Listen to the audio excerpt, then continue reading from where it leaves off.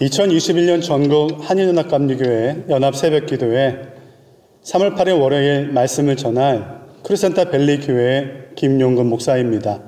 저희 교회는 LA 카운티 북쪽의 라 크리센타, 라카냐다, 몬트로스와 글렌데일 북쪽 지역을 크리센타 벨리라고 하는데 그 지역 중심에서 믿음의 공동체로 모이고 있습니다. 오늘 우리에게 주시는 말씀은 이사야 46장 1절로부터 10절의 말씀입니다. 개정판 성경으로 읽도록 하겠습니다. 벨은 엎드러졌고 느보는 구부러졌도다. 그들의 우상들은 짐승과 가축에게 실렸으니 너희가 떠매고 다니던 그것들이 피곤한 짐승의 무거운 짐이 되었도다. 그들은 구부러졌고 그들은 일제히 엎드러졌으므로 그 짐을 구하여 내지 못하고 자기들도 잡혀갔느니라. 야곱의 집이여 이스라엘 집에 남은 모든 자여 내게 들을지어다. 배에서 태어남으로부터 내게 안겼고 태에서 남으로부터 내게 업힌 너희여 너희가 노년에 이르기까지 내가 그리하겠고 백발이 되기까지 내가 너희를 품을 것이라. 내가 지었은즉 내가 업을 것이요 내가 품고 구하여 내리라. 너희가 나를 누구에게 비기며 누구와 짝하며 누구와 비교하여 서로 같다 하겠느냐? 사람들아 주머니에서 금을 쏟아내며 은을 저울에 달아 도금장에게 주고 그것으로 신을 만들게 하고 그것에게 엎드려 경배하며 그것을 들어 어깨에 메어다가 그의 처소에 두면 그것이 서 있고 거기에서 능히 움직이지 못하며 그에게 부르짖어도 능히 응답하지 못하며 고난에서 구하여 내지도 못하느니라 너희 폐역한 자들아 이 일을 기억하고 장부가 되라. 이 일을 마음에 두라. 너희는 옛적 일을 기억하라. 나는 하나님이라. 나 외에 다른 이가 없느니라. 나는 하나님이라. 나 같은 이가 없느니라.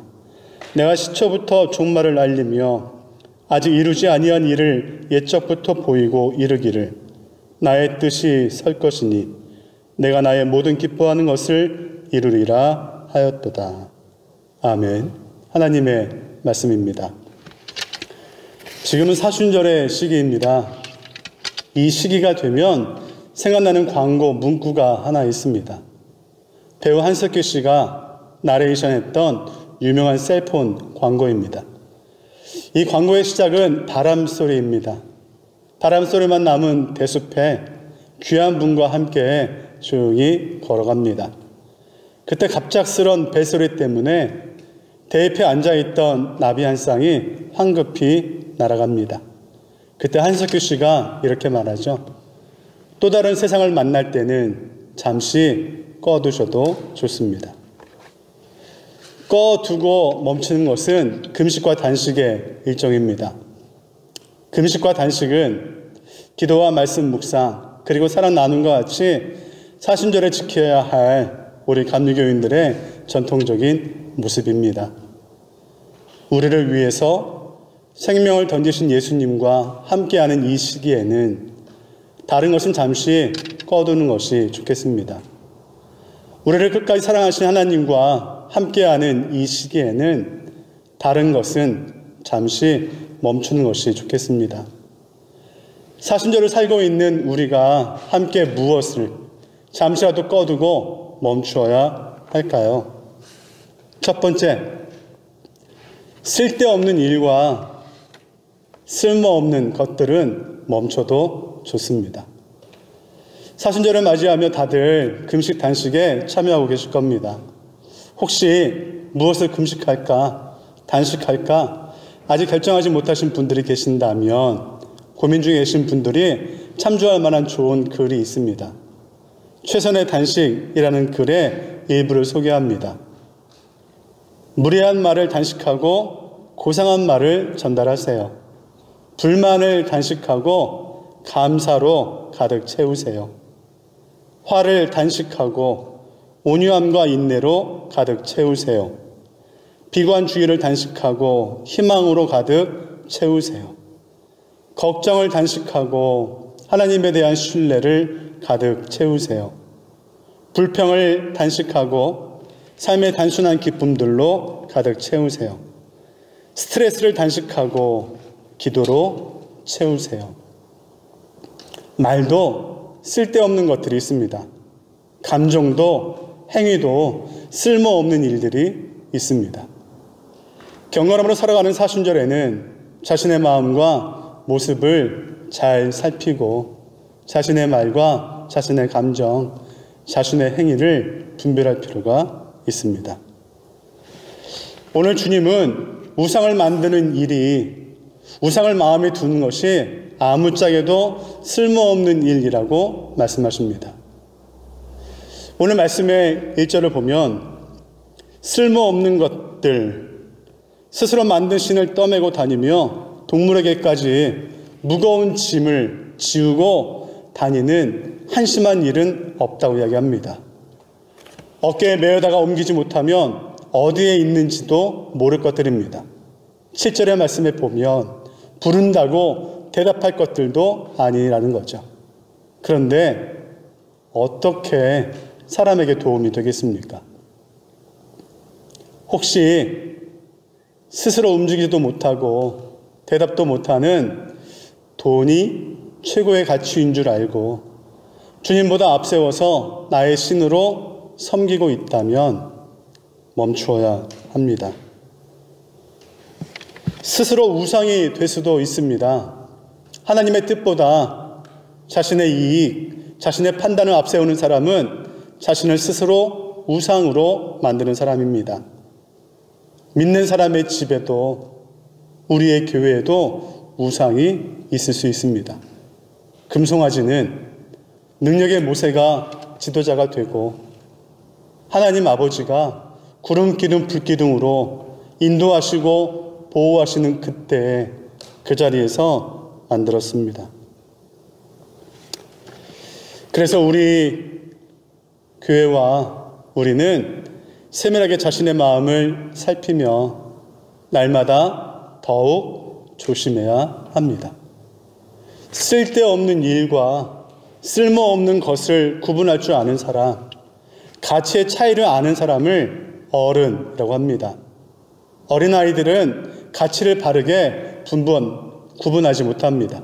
그래서 종종 가치 있는 지폐 달러보다 가치가 낮은 동전, 쿼러 같은 것들을 택할 때가 있습니다. 오늘 주님은 8절 말씀에서 이 일을 기억하고 이런 모습이 있음을 살피고 장부가 되라 어른이 되어라 라고 말씀하십니다. 그리고 이 일을 마음에 두고 마음을 살피고 살라고 이야기하죠. 이 사순절에 주님 앞에 선 우리는 자신의 마음과 모습을 잘 살펴야겠습니다. 스스로 만든 우상을 섬기거나 자기 스스로가 주님보다 더 가치 있다고 생각하거나 혹시라도 쓸데없는 일에 쓸모없는 것에 마음을 빼앗기거나 관심을 두고 있는 것이 있다면 과감하게 꺼버리고 어른으로 살아가는 우리 모두가 되시기를 간절히 기원합니다. 두 번째, 하늘 아버지 하나님의 사랑을 의심하는 마음은 잠시 꺼두어도 좋습니다. 이사야의 기록은 나라가 완전히 망했을 때 바벨론의 포로가 되어 끌려갔을 때 그때 기록을 마칩니다. 그때 사람들은 완전한 절망 가운데 있었습니다. 현재에 대한 기쁨이 없습니다. 미래에 대한 희망이나 소망이 없습니다. 하나님께 버림받았다는 생각 속에서 하나님의 말씀과 약속에 대한 의심과 불신의 삶을 살았습니다. 오늘 우리의 모습과 비슷합니다. 코비드 19으로 인한 팬데믹의 상황이 잠깐이면 끝날 줄 알았습니다. 근데 벌써 만 1년이 넘어갑니다.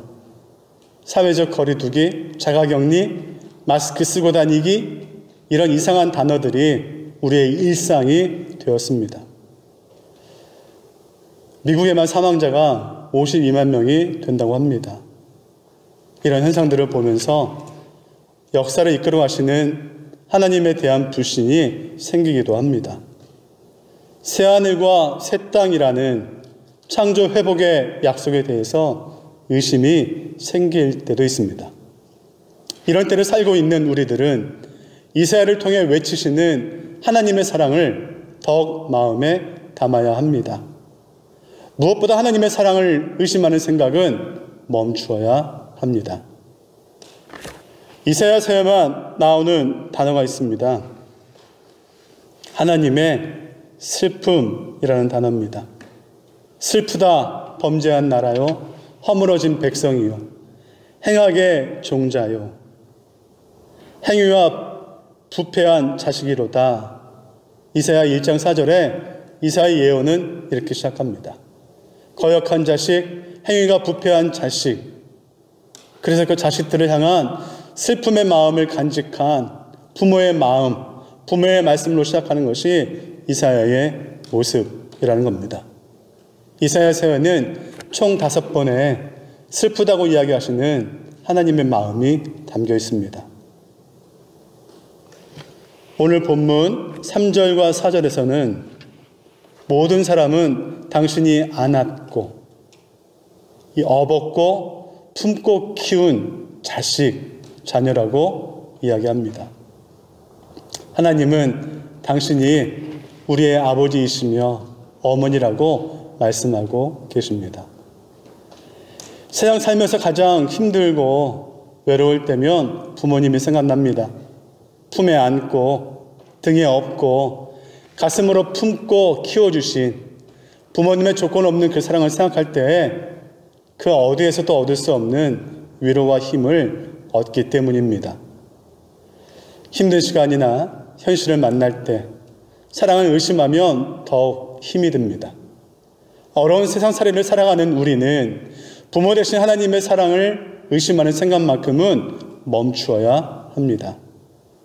세 번째, 하나님의 약속에 대한 걱정은 꺼두어야 합니다. 이세야는 전체가 66장으로 되어 있습니다. 그래서 이세야를 볼 때 성경 66권의 입장에서 성경 66권을 축소해 놓은 것으로 해석해서 보라는 그런 권면의 말이 있습니다.